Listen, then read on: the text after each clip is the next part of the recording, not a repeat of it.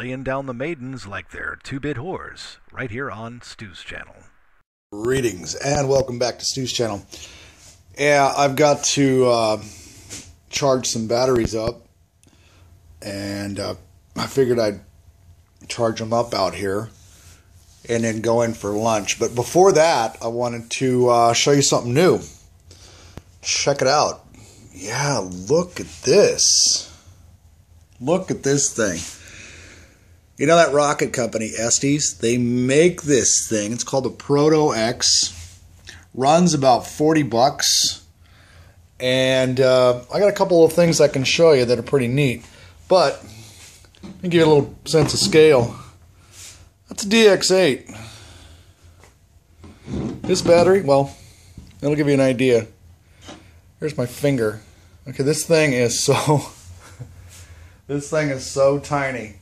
Actually, what I should do is give you some real scale of something. So what I'll do is I'll go over here and I'll, I don't know, I'll get a battery out of here or something. Let me see. Oh, this one looks good. Yeah, oh, it's almost charged. We're almost there. Here's a 1300 milliamp 3S battery. Mm-hmm. And of course, for later, you know, I'm going to uh, attach my GoPro to this and uh, take some video. Maybe get a little FPV action uh, going with this. I've just got to attach the mount onto here to make sure that, uh, you know, this doesn't fall off in flight. At any rate, here is the, uh, here's the transmitter. Look at this. Whoa! Look at this thing. I'm having to do this one hand, but here's the transmitter. Uh, you get the idea of scale. Interesting, huh? I know. Does it fly good? Actually, it does. And what I'll do is I'll I'll get a flight here, and uh, then what I'll do is I'll attach my uh, GoPro to it, and then I'll get another flight, and I'll show you how that video goes. Maybe we can get some footage. Uh, we'll see in a bit. Okay, on a more serious note, now where did I put that quadcopter? Wait, there it is. I found it. Uh, on a serious note, since we've had fun here with the batteries, see this little guy right here?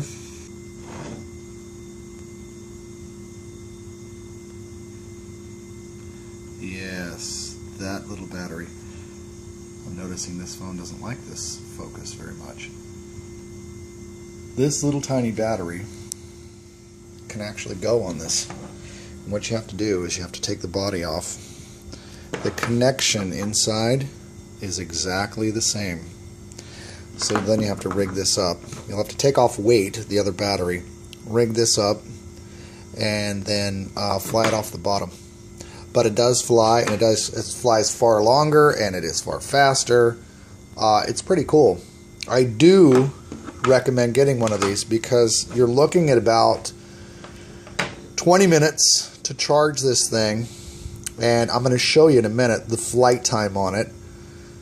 Uh, it's about mm, it's about four minutes from what I can tell. I'll have to time it just by the sense. I'm, I'm thinking it's four minutes. On this it's much longer.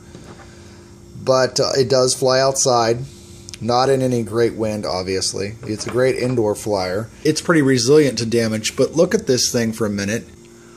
Here's what I wanted to show you. Let me zoom a little bit and give you an idea what's going on. This is a circuit board. The entire thing, besides the external, you know, components, motors, props, the body. It's a circuit board. It is the housing for the motors. It's it's it's pretty smart. Tiny.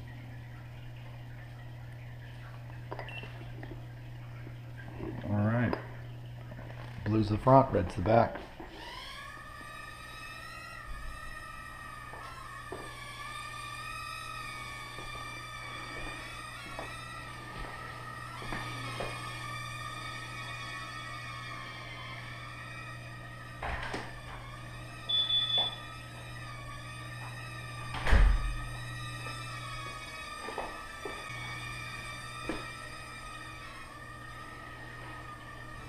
very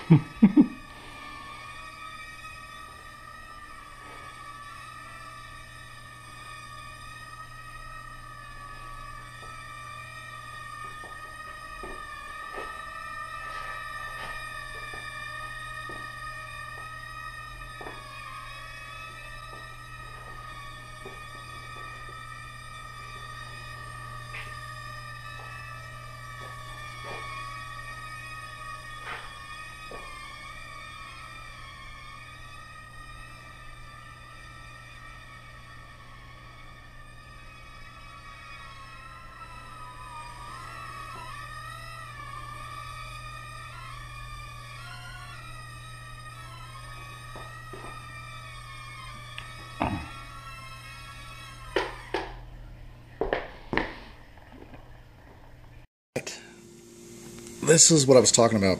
You can take the body off. This is the battery. See the connection there? Yes. Take off this battery and you mount this one. See? Pretty easy. Uh, it's pretty flexible plastic. I don't suspect that this is going to break for quite some time. Eventually, it will become brittle. That's a given. But it is pretty flexible. Comes on and off pretty easy. Uh, but there's the deal. I'll show you with it mounted. Hope to see you back here on Stu's channel.